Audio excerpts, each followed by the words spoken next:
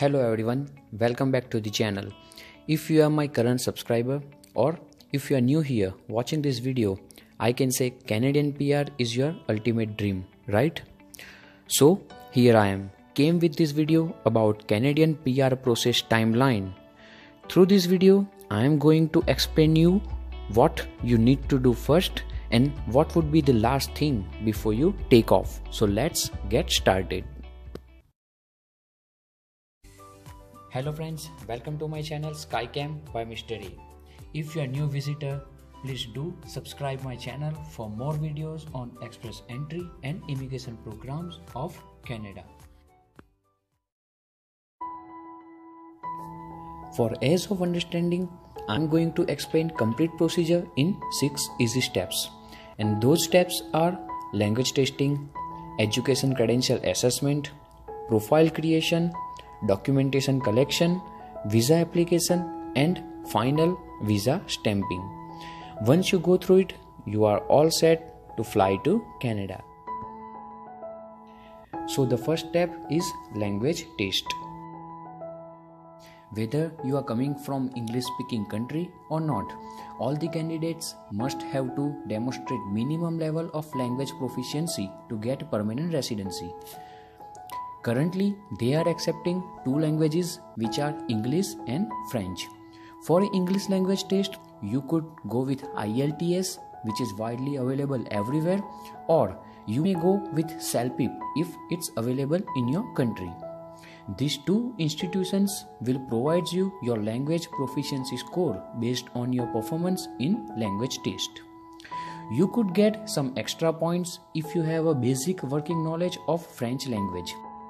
For that, you will have to apply for TEF. To get direct website links, please follow the description below. After the language test, second step is to get an education credential assessment. For education that you have completed outside the Canada, IRCC asks you to show your Canadian equivalency of those degrees.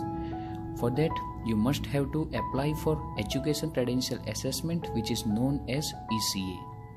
ECA organizations will provide you Canadian equivalency of your degree which you earned at your home country.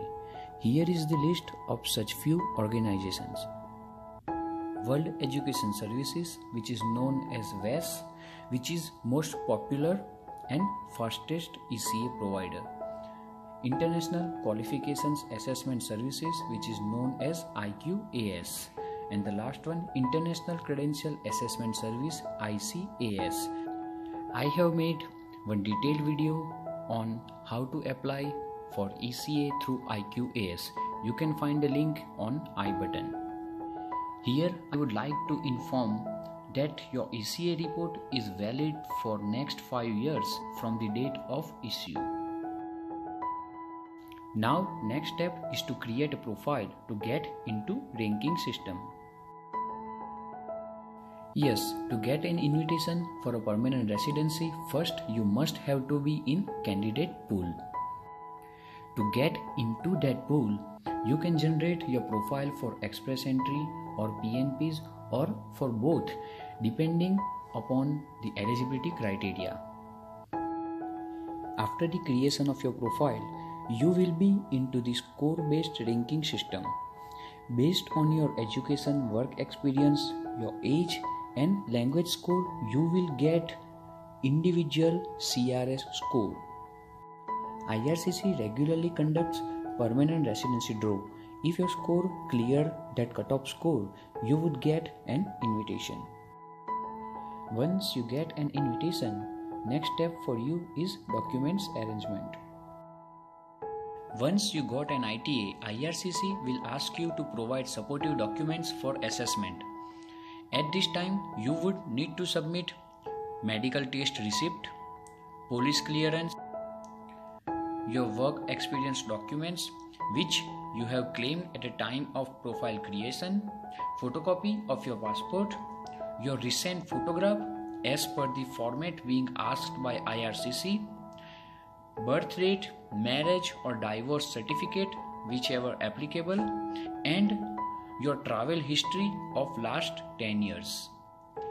Let me warn you here Gathering these all documents takes significant amount of time and IRCC asks you to submit these documents within a 60 days upon receiving ITA. It is advisable to start preparation in well advance. Let's move to the next step visa application.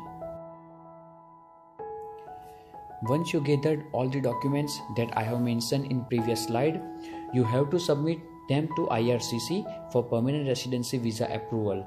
You have to pay your application fee by now.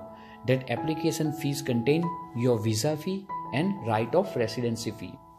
If IRCC finds something fishy in your application at this point, they will ask you to resubmit some documents for the clarification.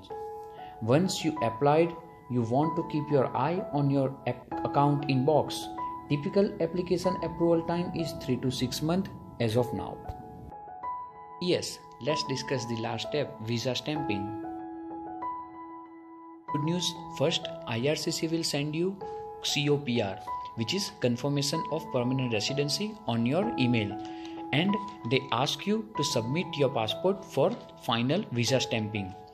Then you would need to submit your passport at authorized center which is VFS Global. I am pretty much sure at this point no one act lazy but just for info there is only 30 days time period to submit passport. That's it guys. You are all set ready to fly to Canada if you have any questions regarding this video or regarding the Canada PR process, you can ask me in comment section. Thank you for watching this video. See you in the next one.